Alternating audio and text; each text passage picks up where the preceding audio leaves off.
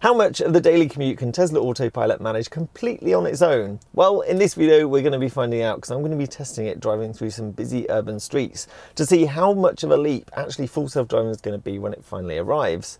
I'll be displaying at the end of the video the total percentage of the journey completed on autopilot along with the number of disengagements and to give it some context the time and the miles covered. And as a little bonus we'll see what effect stop-start traffic has on range because I'll display the average watts per mile for the journey as well to see if actually whether traffic is better for electric cars range than constant driving. Okay, it's the weekend and I'm going to be driving across town in what is going to be some reasonably busy traffic to see just how well autopilot can cope with these hectic urban streets. Now, for those that don't know, autopilot is actually designed only for dual carriageways and motorways in the UK. It's basically like a really advanced lane keeping system. But Tesla owners can back me up here in the fact that autopilot can handle itself in most situations already. Now, my Model 3 does have full self-driving fitted, but in the situations we're testing in, the key differences are that it will stop for traffic lights, stop signs and junctions. So for that reason, there'll be fewer disengagements than if you're using standard autopilot, but mainly only for red lights because if you come across a roundabout, which I think is going to make up the majority of the things that we come across in the town centre, then neither system works very well at all. Because it's going to be busy, I'm going to also have a very low threshold to disengage autopilot myself if I think it's not going to do it, because I don't want to crash. So that's it, trip meters reset. Let's get going and see how it does. For those that aren't familiar with autopilot, basically when there's a blue steering wheel at the top of the screen, that means that autopilot is engaged, but you need two clear lines on the road to be able to engage it. Um, if you've got an option to engage it, it will show a little grey steering wheel at the top, and that's when you can double tap down on the gear lever and that will engage autopilot. So you'll see at the moment, we've got no little grey steering wheel because that means I can't engage it. But we've got the clear edge on the side here and some lines here, so we should get grey steering wheel, there it is double tap down. I'm not quite sure why it's saying the speed limit is 10 mile an hour. Um, but there you go. So autopilot's currently engaged. Now we've come up with our first engage, uh, disengagement already because it doesn't handle parked cars very well. So to disengage it, if you turn the steering wheel at all, that will automatically dis disengage it, but it does leave the traffic aware cruise control on. So currently I'm not accelerating, it's doing all the acceleration here. And you can tell that by the little blue circle that's got the speed limit in it. The other ways to disengage autopilot is for me to knock up on the gear stick or I put the brake pedal on and then that will automatically disengage it as well. So as I said, I'm going to have a low threshold um, because there is quite a lot of traffic around. But when full self-driving gets here in the UK, it should be able to identify cars parked to the side of the road because it looks like it can do that currently with the full self-driving and beta. It will differentiate between the two. I'm not quite sure how it's doing that. It must just measure the distance between the curb and the vehicle, and then where, whether it's likely to be a car driving or whether it's just stopped stationary in traffic.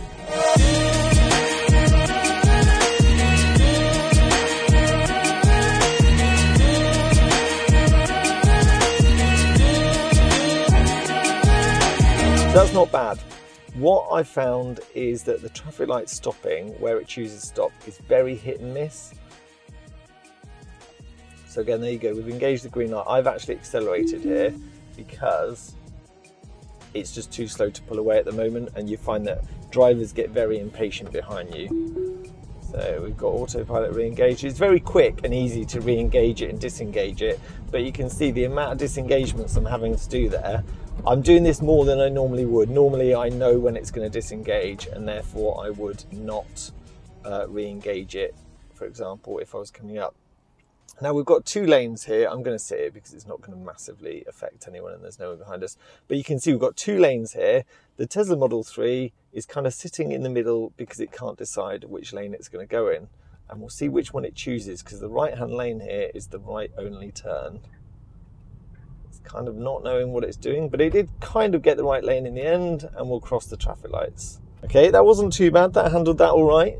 Not going to moan too much there. In the UK, I have found though that it will always tend to go towards the right hand lane. If you've got an option of two lanes, it will choose the right hand lane. And again, just an example there of how slow it pulls away when you're in stop start traffic. So I tend to have my foot over the accelerator and just ease it into the traffic flow when it's stopped because cars behind you think you haven't paid attention to the cars that are up front change of weather all of a sudden. It's now just come over very cloudy. So I'm going to accelerate here because again, there's cars behind me and I know they'll be impatient. Autopilot's still engaged, but I'm hoping over time that might learn that I kind of like to go a little bit quicker than what it does. Now, on the full self-driving option, you get um, lane changes. So if I was to indicate on a motorway, it would change lanes. In the UK, for city driving at the moment, that's not an option. And as I said, whenever you turn the steering wheel, that actually automatically disengages autopilot. So any lane change requires you to disengage autopilot currently. So while you're stationary, you can actually engage autopilot. Not that it's going to be able to make this right hand turn for me yet. God, it's hailing now. Is that snow? It was literally sunny 10 minutes ago. I honestly, this isn't a continuity error. This is just literally how quick the weather has changed. Autopilot's nightmare, park cars and I'm to have to brake it. There we go, because it's just to stop. We've got some temporary traffic lights here. The other thing to bear in mind, autopilot cannot identify speed bumps. So this road's got loads of speed bumps on. Don't expect it to slow down because it won't. So again, ideally it should drive around these, but it's not going to. I've disengaged it. If there wasn't so much traffic around, I'd let it see how close we could get to it, but it really does confuse everyone. So these these parking bays have actually got um, lines on it there, so I think that helps autopilot distinguish the fact that they're parked cars. Oh, got an ambulance coming, so let's not go through this light.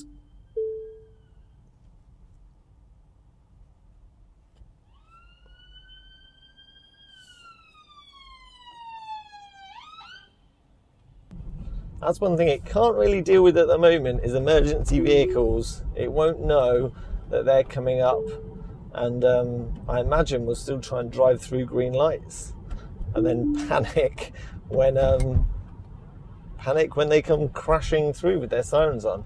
More parked cars. Is it going to cope? I'm not going to risk it. It looked like it was going to drive into them. And now, because we've got no definite road markings, we can't actually engage autopilot for this entire section, which is a shame. And we'll probably be able to engage it again once we get to this section here, yeah. But the problem with that, I'm going to disengage it again. The problem with that is the fact that um, it's kind of not a clear two lane section here. So it would have probably hogged the middle lane or the middle of it and stopped any cars turning left. So we should be able to engage it going through here. Nope.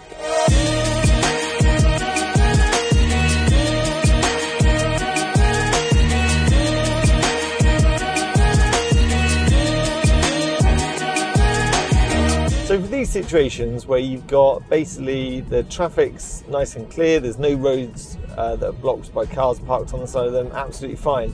But you'll see we're just going over a zebra crossing there, which is actually really hard to pick out because the markings are faded. At the moment, it doesn't recognise zebra crossings at all. So that's something that needs rectified because again, I just don't know how they're going to program it to see if there's a pedestrian waiting there at the side that it's got to stop, give way to the pedestrian, uh, as we do in the UK, which I think is a unique rule because I've got a feeling in Europe and lots of other places, the zebra crossing doesn't mean that you can see, look, we're stopping for traffic control here, and it's not actually here, the line. So we'll disengage um, and correct that. This is where the junction actually is. So when Full Self Driving Beta gets released in the UK, it's going to be really interesting to see how good it is because there's so many different situations it currently doesn't come close to coping with. Now, this section here, it doesn't stand a chance because most human drivers can't manage it, but it kind of forges into no lanes and then you can bear left or right, and we want to bear right, so I'll give it its chance and then over take over because we want to go right here.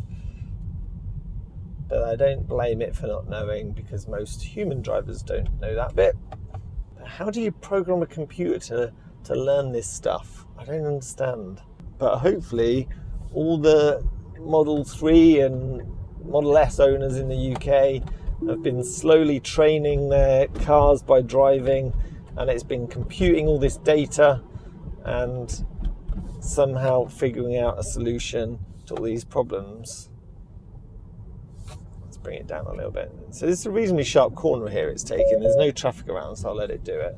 And we've got another sharp corner coming up, so let's take it down a bit because there's no traffic. Fair play, that was pretty sharp. And I know I dialed down the, the speed substantially there, but it did manage to cope with both of those those Z turns. S turns? Z turns? Probably more S. There was a little bit of curvature to it. So coming down here, I'm going to have to disengage because we need to get over into the right hand lane. But it should, in theory, stop by the traffic lights. Let's see how well it does at stopping at this line. very premature. It always seems to just slightly get it wrong, even though that car on the left is would give it some guidance, because um, the car on the left has actually stopped exactly where it needs to be, and then obviously it thinks the line is a little bit sooner than it is. So we're almost at the end of our journey now as we come up to this final section, which is pretty straight. We've got the odd parked car on the side of the road. Which lane is it going to choose? The right lane. Why would you choose the right lane? I don't know. It's got a car 50 50 on the street. What's it going to do? It's going to go round it, yeah. Traffic island. Is it going to crash into it? Oh, it's not far off. Why? Why would it even steer at that? It's like it knows to play up. It's like, yeah, I'm gonna, I'm gonna scare you a little bit. I'm gonna crash you into a traffic island. Got another traffic island coming up. Is it going to crash into it? Is it going to steer around it? Who knows? Let's see. Do yay! We we gave a steer cleared of that one. Well done, Tesla Model Three. Gradually learning. Now we want this a rare occasion where left lane is left turn only. So we want it to stay in the right hand lane. What's it doing? What is it doing? It knows we want to go straight on. It can read the road markings, but it's chosen the wrong lane again. I think it's pretty uh, safe to conclude autopilot cannot drive on city streets in the UK as it stands at the moment. In fact, it's more stressful, I'm not going to lie, because you have to constantly change lanes, disengage, engage, even stop start traffic, you probably have to be on the ball with it because it doesn't pull away quick enough. So, is it usable? Not really. Okay for sections like this. So this is going to be an alright section coming up because I know it's long, straight, the speed limit's not um, 30, 40, it's 30, so you got that wrong. So I'm almost home now. I'm gonna go home, rewatch the footage, work out the percentage of how much of the autopilot covered the journey. My suspicion is not much. Uh, the number of disengagements, my suspicion is a lot. Um, and also the watts per mile and things like that. And then we'll see once we've analysed all the data what we're looking at. So the results are in. Now looking back at the footage, there were occasions when I could have actually had autopilot turned on. I just didn't. So for the purpose of the calculations, I've counted that as it being engaged because I was just a bit too slow to activate it. And the traffic wasn't quite as heavy as I was expecting. The journey took 45 minutes 32 seconds and autopilot completed 35 minutes 30 seconds of that, which means it covered 78% of the journey, which isn't too bad a result considering it's only really designed for dual carriageways and motorways at the minute. I know it looked like from the footage I was disengaging autopilot all the time, but I thought it was more interesting to show you the footage of when autopilot couldn't cope than when it did, because there were some sections of the road that it actually managed like over three and a half minutes completely on its own without any interaction from me, and it was navigating turns, traffic, lanes, things like that. Now, total disengagements were 42 for the journey, but as I said, I had a very low threshold, and I was sometimes engaging autopilot when I knew it wouldn't be able to cope further down the line, just to try and get the mileage that the autopilot was covering. Its Achilles heel was definitely parked cars, left and right turns, roundabouts, and when you had to change lanes because it can't currently do that. But to be fair, that's not currently part of the full self-driving package. There's good evidence from the US that when full self-driving beta arrives in the UK, it's overcome most of those problems already. In terms of the range, we covered 13.3 miles and got an average of 288 watt hours per mile. Now, it was 7 degrees outside and I had the heater set to 20 with no heated seats on at all. So that's not too bad because I'd have expected if I was driving like on A roads, I'd have probably got over 300 watt hours per mile for those driving conditions and the weather. In terms of MPG, it got 3.5 kilowatt hours per mile, which equates to 118 mpg, which is not too bad for urban driving because I think if you compared that to a car in its class, you'd probably expect around 40 to 50 mpg with start-stop technology. So EVs are way more cost efficient, especially if you consider that a gallon of electricity would cost you about £1.68 compared to what, £6 with a petrol or diesel car? 78% probably not too bad a result considering it's only designed to work on dual carriageways and motorways at the moment, and it'll be interesting to see how full self-driving copes with that journey in the future. That's all for this week. Thanks for watching. Don't forget to like, share, comment and subscribe. I'll see you again soon.